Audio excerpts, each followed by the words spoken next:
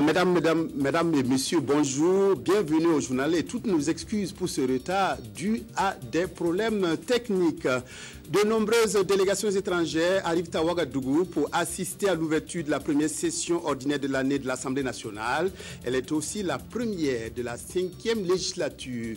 Depuis hier, les cardinaux sont réunis à Rome pour préparer le conclave qui devrait élire un nouveau pape. Pour l'heure, on n'en connaît pas la date ni le profil du futur pape. C'est demain donc que s'ouvre à Ouagadougou la première session ordinaire de l'année de l'Assemblée nationale. L'ouverture solennelle de cette session, la toute première des députés de la cinquième législature, sera marquée par la présence de présidents de parlement et de délégations de pays voisins et amis. Quelles sont les personnalités déjà présentes dans notre capitale? Suivons ce reportage de Sylvain Vebamba. Première des six délégations attendues à l'ouverture de la première session ordinaire de l'année 2013, celle de Côte d'Ivoire, conduite par son président Guillaume Soro, dont la présence à Ouagadougou traduit l'excellence des relations entre les parlements ivoiriens et burkinabés. La Côte d'Ivoire et le Burkina sont deux pays frères et quand il y a une circonstance comme celle-là, le président de l'Assemblée nationale de Côte d'Ivoire se doit, agréablement bien sûr, de répondre présent. Les présidents des parlements du Niger et du Sénégal, retenus pour raison de session, ont dépêché dans la capitale burkinabé leur vice-président. Le président Moussa Agnès voulait venir personnellement, mais c'est parce qu'au Sénégal aussi, on démarre une session spéciale. Donc euh, c'est tout un plaisir pour moi et je vais anticiper pour leur souhaiter une bonne session parlementaire. Et si nous avons fait le déplacement de Ouaga, c'est pour dire que bon, nous tenons à la coopération bilatérale et interparlementaire qui existe et qui doit continuer d'exister entre le Niger et le Burkina Faso. Honoré de sa présence, l'ouverture d'une session est devenue une tradition qui consolide la diplomatie parlementaire et à laquelle le Togo ne veut pas faillir. Comme nous, nous sommes les représentants de nos populations, il est tout à fait normal que nous puissions partager les expériences des uns et des autres afin d'aller vers euh, ce que j'appellerais l'intégration des peuples. Dans le courant de la journée sont attendus les présidents des assemblées du Bénin et du Gabon. Le ministre de l'eau, des aménagements hydrauliques et de l'assainissement a effectué une visite sur le site du barrage de Ziga le 26 février dernier. Il s'agissait d'échanger avec les maraîchers installés de façon anarchique sur le barrage. L'occasion était aussi belle pour le ministre Mamounata Belem de s'entretenir avec la direction de l'agence de l'eau du Nakambe sur les problématiques liées à la gestion de l'eau. Reportage Adama Koulibaly. Au Burkina Faso, il existe plusieurs types de barrages à vocation agricole, électrique ou encore d'approvisionnement en eau potable. Mais souvent, ces ouvrages hydrauliques connaissent des utilisations qui vont à l'encontre de la réglementation en vigueur, d'où cette rencontre entre le ministre en charge de l'eau avec les maraîchers installés autour du barrage Ziga. Cette question était également au centre des échanges avec l'agence de l'eau du Nakambe. Les pays a réalisé des barrages et on se situerait aujourd'hui à plus de 1012 barrages euh, au plan national et à près de 500 barrages dans les bassins du Nakambe. Malheureusement, la construction des barrages n'a pas été suivie de meilleure gestion de l'eau et de l'ouvrage. Si bien qu'aujourd'hui le constat est amer. Il y a une exploitation anarchique des, des barrages caractérisée par la pratique du maraîchage jusque dans les lits du barrage avec une utilisation abusive des produits chimiques. Ces rencontres ont été précédées d'une visite du site de l'ONEA sur le barrage Ziga destiné à l'approvisionnement de la ville de Ouagadougou en eau potable. L'occupation anarchique du lit de ce barrage pour la culture maraîchère avec l'utilisation des pesticides, les déjections d'animaux suite au pâturage sont des sources potentielles de maladies pour les populations. Nous venons tout à l'heure de visiter la station de pompage de traitement de, de l'ONEA et ça nous rassure ça nous rassure, en tout cas jusque-là, ça nous rassure que jusque-là, nous avons de l'eau potable. Mais il faut que les populations comprennent que les efforts sont faits, mais si elles ne comprennent pas dès maintenant le mot d'ordre qui les demande de déguerpir, de ne pas eh, occuper le lit du, barrage afin de ne pas le polluer, si à la longue il continue ses activités, l'ONEA ne sera plus à mesure de pouvoir traiter. Avec les dispositifs qu'il y a, l'ONEA ne sera plus à mesure de traiter cette eau-là afin que nous ayons de l'eau potable. Le ministre en charge de l'eau a ainsi invité les populations à respecter les textes en vigueur pour que l'eau, source de vie, ne soit pas source de maladie. Plus d'un milliard de francs pour renforcer les capacités de production et de distribution de l'Office national de l'eau et de l'assainissement pour la ville de Gawa. Un financement a été accordé à l'ONEA par la coopération allemande pour réaliser un projet qui vise à combler le manque d'eau du chef-lieu du Pony. Les travaux lancés le 1er mars durent 12 mois. Sébastien Zongo.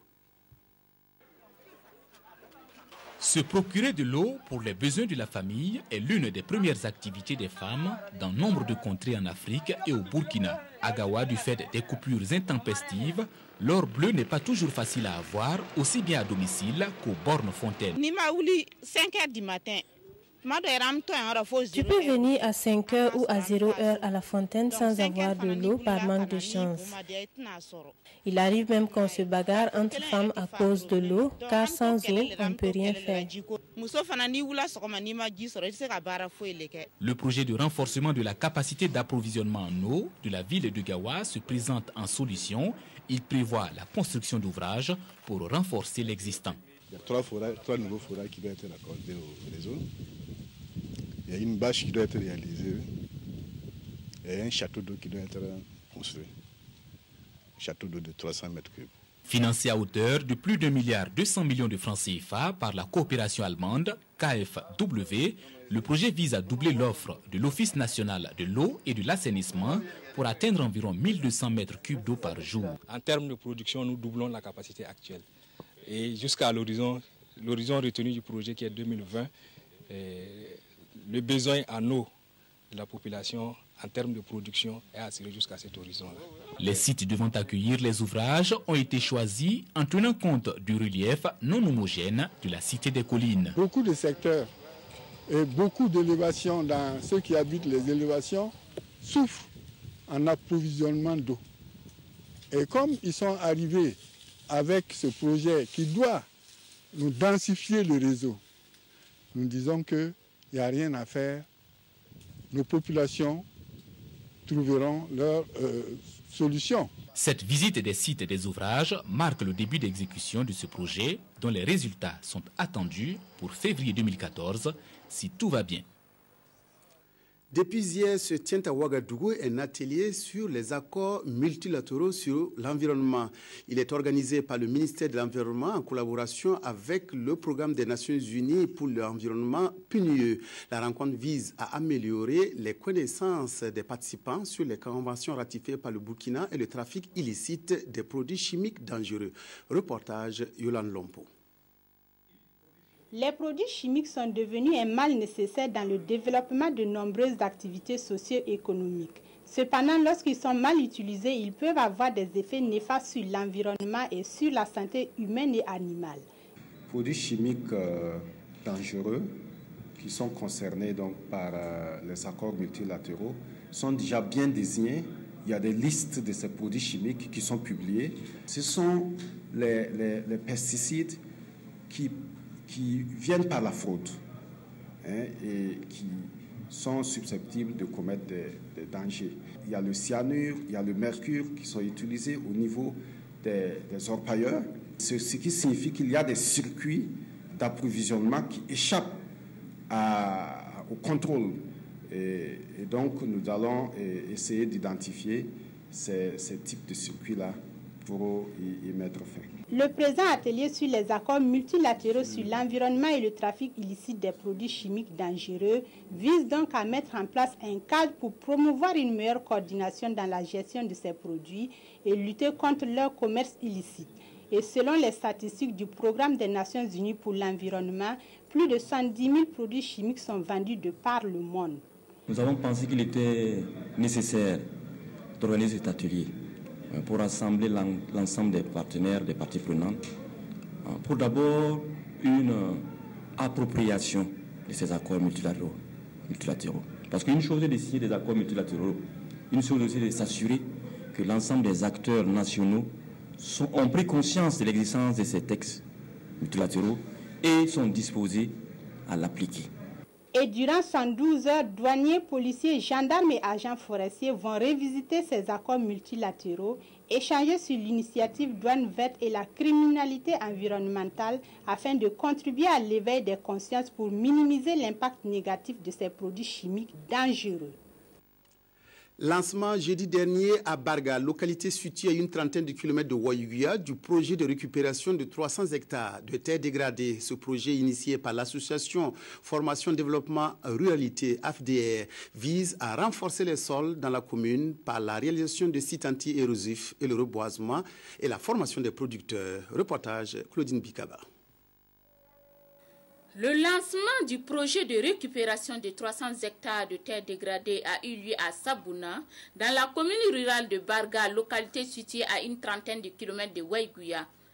Prévu pour durer trois ans, ce projet couvre les localités de Dingiri, Derego et Sabouna.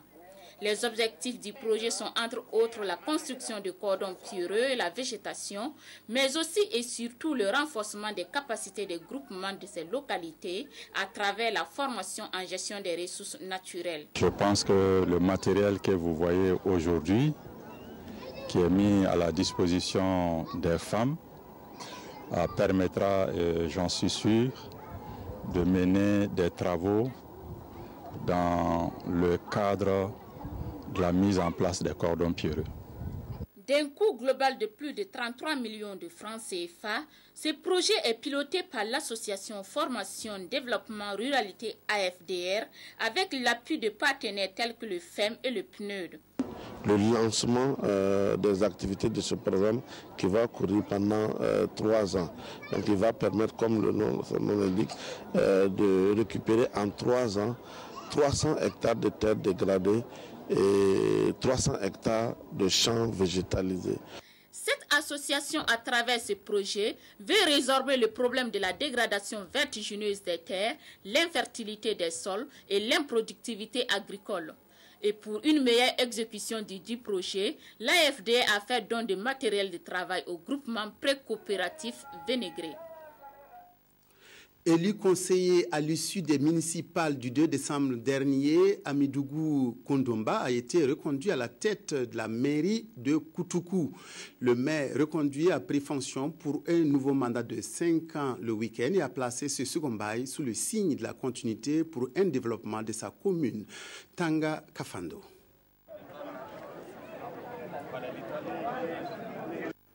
Amidougou Koundaba est officiellement installé dans ses fonctions de maire de la commune rurale de Koutougo. C'est dans la province de Soum. Un second mandat de 5 ans sous les couleurs du CDP, le Congrès pour la démocratie et le progrès.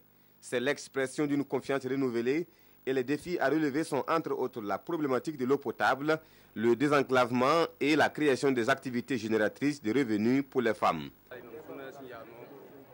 Nous avons des projets de réalisation des routes, des infrastructures éducatives et sanitaires. Les femmes bénéficieront d'un projet qui va leur permettre de mener des activités génératrices de revenus. Toute chose qui leur permettra de s'épanouir et de contribuer au développement de la commune. Comme le vrai maçon, le maire est au pied du mur pour entamer le décollage véritable du développement. Il appelle sa population à l'accompagner dans ce vaste chantier. L'ambition est de faire de Koutougou une commune paisible où la population parle le même langage pour le bien de la communauté. Toukou est une commune frontalière. Elle a des potentialités. C'est pourquoi nous demandons aux populations de s'unir autour du maire afin de ficeler des projets porteurs de développement. Le maire a réussi un premier mandat sans divergence. Nous lui demandons de poursuivre ses actions dans ce sens pour l'épanouissement de tous. Quand on entend le nom on ne pense pas que effectivement c'est une commune qui a beaucoup de potentialités. Et quand on y arrive, on se rend compte qu'il y a beaucoup de potentialités. Il y a la culture, il y a l'élevage bien sûr, et il y a même des sites miniers. C'est pour dire que si les gens font bloc, s'ils parlent le même langage, c'est sûr que au cours des cinq ans à venir, ils vont comprendre que personne d'autre ne peut venir développer leur localité. Chaque commune a d'énormes potentialités. Les exploiter et les valoriser pour un changement positif en matière de développement local, c'est tout le sens de la communalisation intégrale en marche au Burkina Faso. Un défi que le Sahel burkinabé veut relever avec ses moyens de bord pour l'épanouissement de sa population. Une nouvelle infrastructure pour renforcer la capacité de scolarisation des enfants dans la commune rurale de Komsiliga. Une école de trois classes construite grâce au soutien de la fondation espagnole Katiu a été inaugurée hier dans le village de Dawanegomde. Une fête partagée par les habitants de la localité et leurs hôtes. Kadi Ouattara, Nyarkiteda. Plus de soucis d'école pour les populations du village de Dawanemgomde dans la commune de Komsilga. Les enfants de la localité n'auront plus à parcourir de longues distances à la recherche du savoir. Le village dispose désormais d'une école à trois classes avec un bureau et des latrines, un don de la fondation espagnole Catiu. Ce qui va se passer dans les 20 prochaines années sera construit par ces enfants. Ils ont besoin de commencer par aller à l'école. S'ils ne vont pas à l'école, ils n'iront jamais construire le pays. C'est pour ça que nous, on a voulu participer à notre euh, niveau assez humble à la construction du pays à travers la don, le don de cette école. C'est un geste qui vient à point nommé et va soulager élèves et parents d'élèves du village de Dawanem Gomde. Ça me va tout droit au cœur, et surtout pour la confiance euh, qu'on m'a faite, et encore pour le bonheur des enfants et qui avaient de la peine vraiment à faire des déplacements. Et je n'ai même pas les mots réellement pour exprimer ma satisfaction. Avec cette école, c'est l'offre éducative qui s'accroît dans la commune de Komsilga. D'où la satisfaction du maire de la commune pour qui l'infrastructure inaugurée s'inscrit dans le plan communal de développement. Ici, ça positivement, puisque le, gouvernement du Burkina Faso a transféré les compétences dans le domaine de l'enseignement primaire aux collectivités. Nous avons 36 villages et nous venons d'inaugurer une école qui ramène le nombre d'écoles primaires publiques à 30 ce qui veut dire qu'il nous reste beaucoup de choses à faire pour pouvoir améliorer le taux de scolarisation dans la commune. La fondation Katu est à sa deuxième école offerte après celle de Panomguin, inaugurée le 25 février 2012. La fondation entend ainsi, à travers ses réalisations, contribuer un temps soit peu à l'accroissement de l'offre éducative au Burkina Faso. L'art a permis de renforcer les liens de coopération entre Limousin en France et Loubritenga. Pendant un mois, les artistes français et burkinabés ont réalisé sur le site de Lango des créations artistiques. Au bout du compte, ils ont formalisé un jumelage entre Limousin et Loubritenga. Oumoussissé Nyarkiteda. Ces œuvres sculptées sur du granit constituent le fruit du savoir-faire des artistes de l'association Fragment de Limousin en France et de Loubritenga au Burkina Faso. La diversité des œuvres montre la richesse culturelle des deux régions. Ces artistes ont partagé l'amitié, la fraternité à Lango dans le cadre du programme décentralisé Loubritenga Limousin.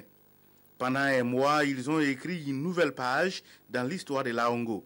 C'est que ces œuvres combinent à la fois des conceptions philosophiques, des symboles et en même temps la réalité quotidienne de nos deux régions pour symboliser en fait l'amitié entre la province de et la région Limousin. Ce lien d'amitié qui dure depuis trois ans entre les deux régions a été concrétisé par une convention de jumelage entre artistes limousins et artistes de l'Oubritinga.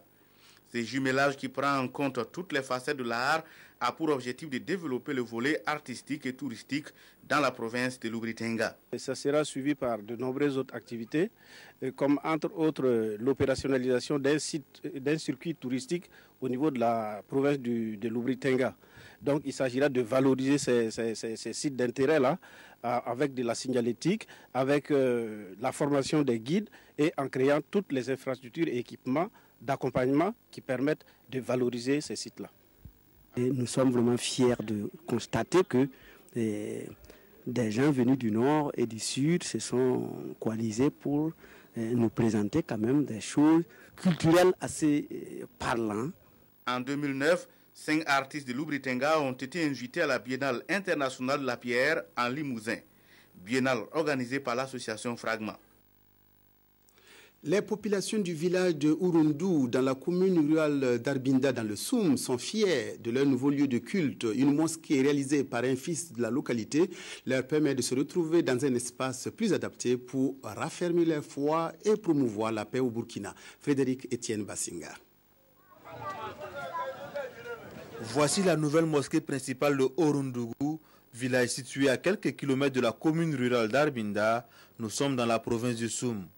Ce lieu de culte d'un certain standing offre un cadre idéal aux fidèles musulmans de la localité pour prier et implorer ensemble Allah. Sa réalisation a été possible grâce à l'appui financier de Moussa Sissé, un opérateur économique qui a répondu positivement aux doléances des fidèles musulmans de Orundugu. Nous avons fait des démarches auprès de Moussa qui nous a donné cette mosquée et qui est aujourd'hui réalisée. Donc c'est pour ça que nous sommes venus. nous remercions vraiment le donateur. Nous remercions Elaï Adama qui a vraiment beaucoup fait pour l'islam.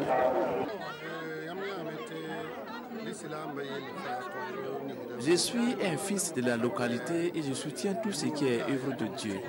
Cette mosquée doit contribuer à unir les fidèles musulmans de ce village. Je les appelle à une cohésion sociale car Dieu est amour. Ce vendredi 22 février 2013 est un jour béni pour les fidèles qui ont loué et adoré Dieu. Durant des heures, des prêcheurs se sont entretenus avec les populations sur divers thèmes en lien avec l'islam. Dans son sermon, l'imam du jour a rendu un vibrant hommage aux donateurs pour qui une mosquée n'a pas de prix. Le geste est un acte de foi, une manière de témoigner sa solidarité religieuse aux populations de Orundu. Si euh, la population les fait appel pour manifester un besoin, que ce soit euh, en, infrastructure ou en équipement, il soutient toujours le développement de la religion. Ils sont toujours engagés et s'engagent toujours pour ça. Cette cérémonie d'inauguration a vu des personnalités se succéder à la tribune. Elles ont ainsi mis à profit cette occasion pour souhaiter qu'il y ait la paix, la solidarité et la cohésion au Burkina Faso pour que tous